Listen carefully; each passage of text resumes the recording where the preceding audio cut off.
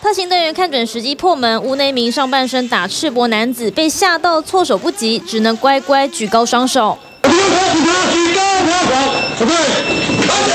他就是竹联邦名人会万华分会二十六岁何姓主嫌，绰号叫四川，专门吸收未成年，教唆他们到处犯案。屋内还查获手铐、折叠刀以及用来恐吓被害人的改造炮竹。落网的十八名帮派成员当中呢，有九人是未成年，其中一人年纪最小才国三，没事就会到像这样的饮料店聚集，打着名人会的名号吸收他们加入黑帮。就有四名少年被叫去当车手收款，结果被大哥怀疑私吞两百万，分别在住家附近被强压上车，带到细指山区囚禁施暴，跟他们的家人勒赎，逼迫还钱。其中一名少年不服从，又被带往台北市中山区间旅馆，中途借口要上厕所，趁机脱逃。刚好看见巡逻警车，紧急拦车求救。一开始他们基本上先进来就是做那个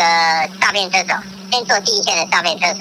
或是在执行任务。去当打手啊，或者说当枪手啊，因为未成年程度比较低啊，要集中动员的时候，他们都一定要到。测试你的机动性，因为是小弟嘛，你什么都要去嘛。警方调查落网少年大多来自新北，学长带学弟加入帮派，甚至有人去柬埔寨做诈骗，结果发现那边钱少又累，回台后薪水还得通通缴回给大哥。原本以为加入帮派就像电影情节一样，有人撑腰还能赚钱，结果幻想破灭，吃上刑责，家人也被牵连。特别新高者黄金芬台北报道。